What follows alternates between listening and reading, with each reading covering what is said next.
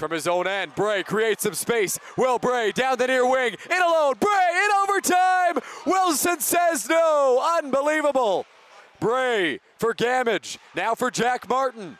Martin across the ice. Bray centers in front. Gamage! Oh, it just trickled wide. What a chance for Cambridge. Here's Bray.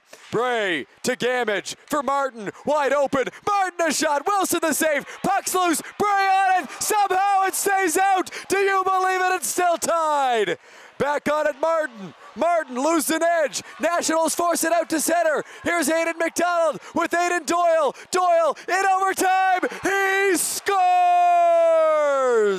End to end. Aydan Doyle and the Nationals take a thriller in overtime over the Redhawks to conclude their showcase with a bang.